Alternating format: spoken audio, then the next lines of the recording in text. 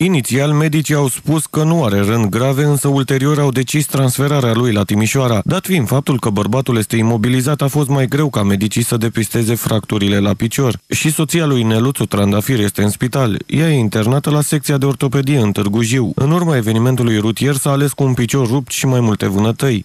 Dublă fractură, asta s-a constatat la Târgu Jiu, deci în, la ieșirea din, de la UPO. Soția e în spital în Târgu Jiu, unde e în, în continuu să spune că va fi externată, se va ieși de capul ei, e în Târgu Jiu, cu un picior cât o buturugă și cu sânul, sânul stâng negru, doctorița, uh, doctorița Barbara e de asta cel care a provocat accidentul.